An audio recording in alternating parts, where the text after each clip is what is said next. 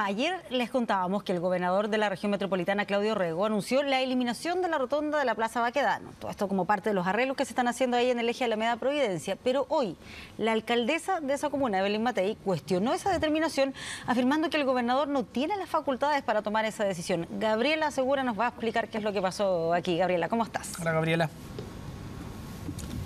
Hola, muy buenas tardes. Ayer les contábamos de esta iniciativa, de este anuncio que hacía el gobernador de la región metropolitana, Claudio Orrego, de eliminar la rotonda de la Plaza Baquedano, algo que sorprendió de todas maneras a quienes circulan y también a la misma alcaldesa de Providencia, Evelyn Matei, que aprovechó esta jornada en el marco del plan de recuperación de este sector de la plaza justamente para dar su respuesta respecto a este anuncio. ¿Qué fue lo que dijo la alcaldesa respecto a esta iniciativa que consideraba sacar la rotonda de la Plaza Baquedano para poder unir distintos parques, el Parque Balmaceda, el Parque Forestal, también que iban a poder unirse el Parque Bustamante con una explanada más bien para que las personas pudiesen estar en ese lugar. ¿Qué fue lo que dijo la alcaldesa de Providencia? Dijo que había quedado bastante atónita ante este anuncio, que ella no estaba de acuerdo y que no solo eso, que sino que también no iba a permitir que esto se ejecutara. Ella decía que no se le había consultado al municipio y que este tipo de actividades debían ser consultadas a los vecinos de Providencia y no solo a ellos, sino que también eventualmente a los vecinos de, toda la región metropolitana. Mencionaba que este es un proyecto municipal que debía también tener la autorización y los permisos por parte del municipio, que los decía yo, ha estado trabajando en esta zona con un plan de recuperación, ha estado poniendo, por ejemplo, pasto en ese lugar. Y por eso es que la alcaldesa era bastante enfática en señalar que al menos esta rotonda que mencionaba el gobernador no iba a ser eliminada y no se iba a ejecutar esta iniciativa que lleva bastante tiempo. Este no es un proyecto nuevo, este proyecto ya lleva varios años, se ha estado discutiendo incluso con el municipio de Providencia. Sin embargo, ella comentaba que este anuncio no era posible ya que el gobernador eh, derechamente no tenía las atribuciones para poder ejecutarlo. Decía que este era un espacio administrado por la municipalidad, como les decía yo, y que por ende esto no se podía ejecutar. Por lo mismo, también planteaba la necesidad de poder realizar una consulta ciudadana de manera que quienes viven en la comuna pudiesen pronunciarse respecto a si están de acuerdo o no en que se realizara este cambio en este lugar tan emblemático de la región metropolitana. Un proyecto que, les decía yo, buscaba unir estos distintos parques y que también, según lo que se veía en algunas maquetas anteriores, consideraba, por ejemplo, mejorar también el tránsito con las pistas que están actualmente funcionando. Decía la alcaldesa Matei que son cuatro pistas al oriente, cuatro pistas al poniente y que esto también consideraba cemento en el resto del espacio, lo que para ella no era adecuado ya que se debían instalar en ese sector áreas verdes de manera de poder entregar eh, mayor sombra a quienes transitaban por este lugar. Fue bastante severa, bastante tajante en señalar que esto no se iba a ejecutar, que ella no había sido eh, llamada al menos a, este anuncio por parte parte del gobernador y que ella se había enterado eh, así bastante sorprendida de lo que se iba a realizar y que según el mismo gobernador iba a ser anunciado los próximos días. Eh, también comentaba que no ha conocido el proyecto final, que este mismo era el que tenía que ser mostrado a quienes viven en esta comuna para que ellos pudiesen opinar respecto a si estaban de acuerdo o no en que se limitara, en que se eliminara esta tan eh, importante rotonda, este espacio tan importante para la región metropolitana. Escuchemos justamente qué fue lo que dijo la alcaldesa de Providencia y qué le respondió el gobernador. No, la verdad es que eso no está decidido y la plaza Baquedano es eh, eh, un bien administrado por la municipalidad. El gobernador no tiene tuición sobre eso. Eh, y él además está bien, puede conversar con mucha gente, con muchos arquitectos, con rectores, con empresarios, con lo que quiera. Eso no reemplaza la conversación con los vecinos. Eh, nosotros por lo menos en eh, Providencia, cuando hacemos algo de esta envergadura, siempre consultamos a los vecinos, hacemos participación. Aquí la participación que se hizo es hace ocho años atrás y respecto a un proyecto totalmente distinto al que se está hablando, así que eh, el gobernador no tiene las facultades para anunciar lo que anunció ayer. Yo no estoy obsesionado con Plaza Italia. Estoy obsesionado con recuperar y devolverle la ciudad a las personas. Este proyecto que partió con un concurso internacional lleva ya más de 30% de la Alameda y las fachadas recuperadas para la ciudad en comunas como Estación Central, como Lo Prado y Santiago. Va a tener el Parque Hueras, va a tener una recuperación y plantación de más de 3.000 árboles. Y también esperamos la remodelación de lo que hoy día se conoce como Plaza Italia. La Plaza Italia no es plaza, es una rotonda para los autos. El nuevo diseño plantea 8.000 metros cuadrados de espacio público para la gente en vez de un espacio ornamental. Comparemos los proyectos y, y veamos cuál le da más espacio a los parques y a la gente.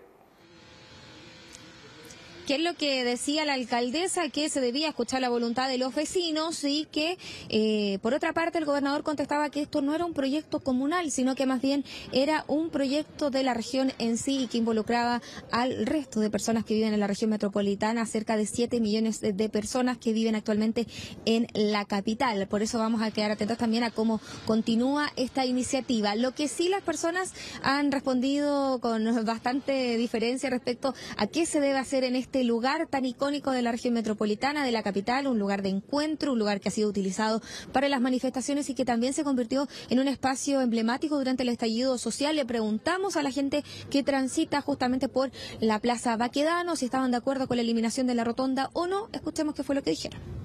Daría más agilidad al tránsito. Sí, es que lo quieren dejar como una plaza prácticamente, plaza peatonal. Ahí sí que Habría que pensarlo. No, está muy bonita. ¿Ah? Ahora está muy linda. No, está hermoso eso, que dejen así nomás y que cuiden. Un parque. Va a ser lo mismo, yo me pienso. Va a ser lo mismo porque, por ejemplo, un parque ya va a quedar un espacio para reunirse.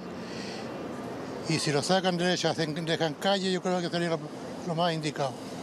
No, a mí no me parece. O sea, que hagan algo, pero que siempre exista, porque es un lugar emblemático para todos. ¿Ya? Pero eso sí que le den buen uso a la plaza, no mal uso. ¿Qué es lo que comentaban también desde la gobernación? Que esta versión que entrega ahora la alcaldesa es bastante contradictoria, ya que ella misma en entrevistas anteriores había manifestado la eventualidad de eliminar esta rotonda de la Plaza Baquedano. Sin embargo, ahora ella es bastante severa en decir que no va a permitir que se intervenga este emblemático sector de la capital. Y desde esa iniciativa nos vamos a otra que plantean parlamentarios y alcaldes también de la región metropolitana y que tiene relación con inmuebles y con terrenos que estén asociados a delitos porque presentaron un proyecto que busca requisar estos terrenos, estas casas también. Ya hemos visto cómo se han desarrollado distintos allanamientos, por ejemplo, en casas que han sido desalojadas, incluso que han sido tomadas y que han estado asociadas a distintos hechos delictuales. Por eso es que el diputado Winter junto a otros parlamentarios han propuesto esta iniciativa que pueda existir un marco legal para que los municipios se puedan hacer cargo de estas casas y de estos terrenos.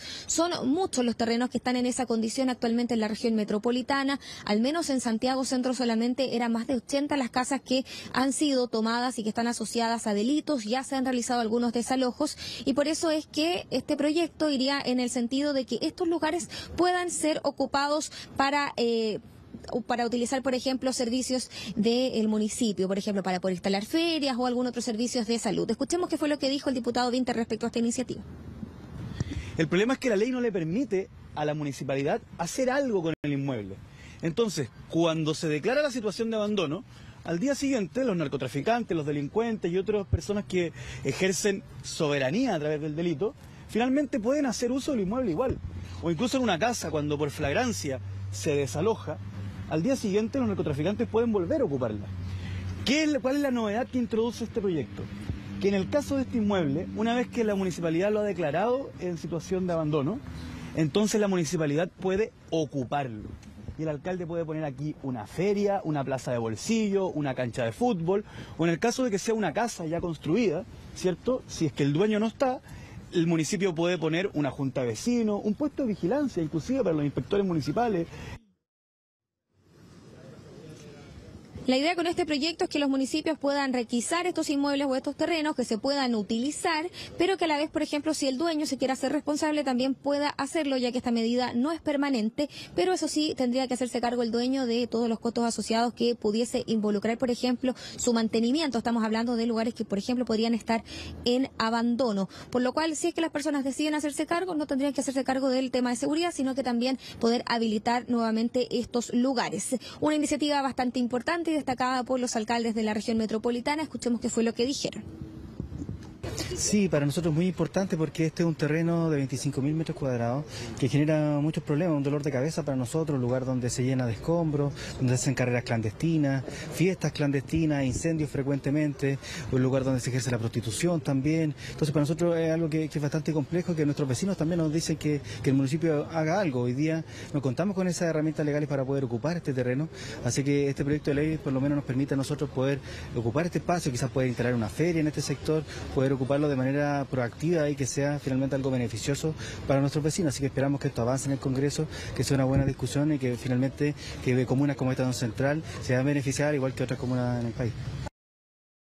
Tenemos algunos casos críticos de extrema complejidad en que tenemos eh, muchos ocupantes al interior del domicilio y cuando intentamos o desalojar la vivienda o generar alguna acción eh, distinta, dado que no podemos eh, identificar al propietario o estando identificado no es sabido, no tenemos la facultad legal para producir ese desalojo, toda vez que se trataría de un conflicto entre particulares y es el privado quien tendría que solicitar acción. Y por eso nosotros, a partir de nuestra experiencia, creemos que efectivamente un proyecto de ley como este tipo podría permitir no solo la declaratoria del abandono, cuanto por supuesto está debidamente acreditado, sino ordenar el desalojo de esas viviendas y generar en esos espacios actividades para la comunidad. Una iniciativa que es catalogada como urgente por parte de los alcaldes de la región metropolitana que ya han realizado distintas acciones en cuanto a estas casas que están tomadas o a estos terrenos que han sido ocupados por personas y que se asocian a distintos delitos y que con este proyecto de ley en caso de que se convirtiera en una realidad podrían ser utilizados para servicios públicos, para que los municipios puedan instalar ferias y darle un nuevo uso a estos espacios que hemos visto cómo han perjudicado a la ciudadanía al ser mal ocupados. Sido ahí tema de discusión, qué hacer con esos espacios públicos, cómo darles otro uso, en la medida que la normativa así lo permita. Gracias, Gabriela, por la información. Muy buenas tardes.